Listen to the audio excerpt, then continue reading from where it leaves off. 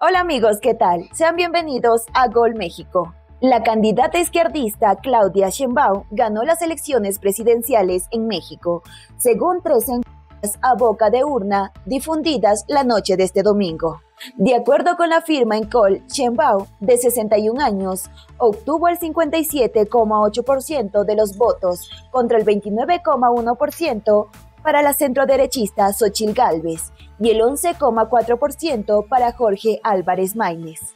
Otros dos sondeos de los medios de Televisa y el financiero proyectaban a Chembao como ganadora sin revelar aún porcentajes. Tras esta noticia, la prensa argentina no tardó en reaccionar y esto es lo que dijeron. Escuchemos.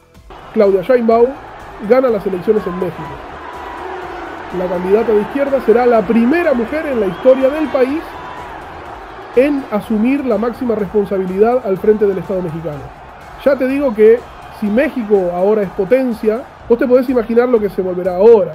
Ojalá en Argentina fuéramos inteligentes, con mi ley. México va en picada, Argentina va en picada. Mientras México con buenos presidentes, poco a poco, se va convirtiendo en una potencia. El futuro de México es brillante, ¿me Desde aquí de Buenos Aires. Vacitinamos un futuro prometedor en México. Con ello, Sheinbaum se perfila para ser la primera mujer presidenta del país latinoamericano. De confirmarse la tendencia, Sheinbaum acudirá al Zócalo de la Ciudad de México para celebrar su triunfo en las urnas ante sus seguidores en un evento masivo. Bueno amigos, hasta aquí este video. Muchísimas gracias por vernos y nos vemos en la próxima edición. Hasta pronto.